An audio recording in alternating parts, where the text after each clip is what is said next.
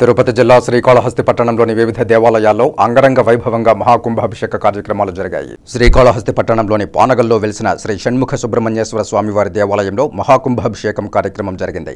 ఈ కార్యక్రమంలో శ్రీకాళహస్తి దేవస్థానం చైర్మన్ అంజూరు శ్రీనివాసులు శ్రీ షణ్ముఖ సుబ్రహ్మణ్యేశ్వర ఆలయ కమిటీ మెంబర్లు అశేష సంఖ్యలో భక్తులు పాల్గొన్నారు.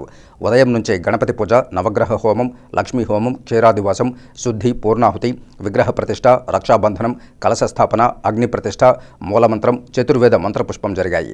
అనంతరం గోపురం శిఖరం మరియు మూల విరాట్లకు మహాకుంభాభిషేక కార్యక్రమం జరిగింది. అశేష సంఖ్యలో భక్తులు పాల్గొని మహాకుంభాభిషేకాన్ని కనులారా తిలకించారు. అనంతరం స్వామి అమ్మవార్లకు అలంకరణ చేసి నైవేద్యాన్ని సమర్పించారు.